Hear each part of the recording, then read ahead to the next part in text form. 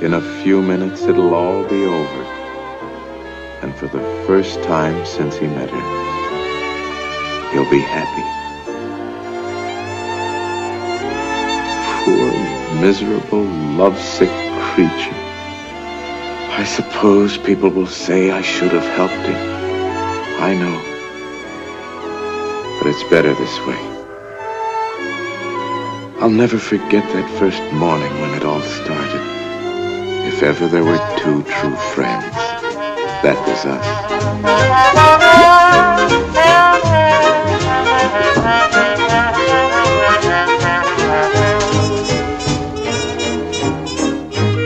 And then she walked by.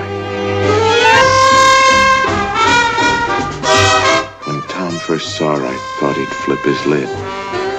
And he did.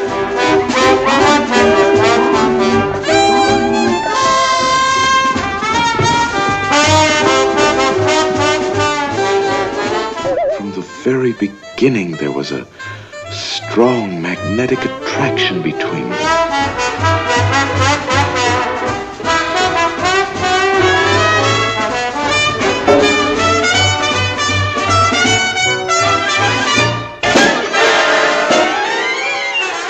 Tried to stop it, but it was no use.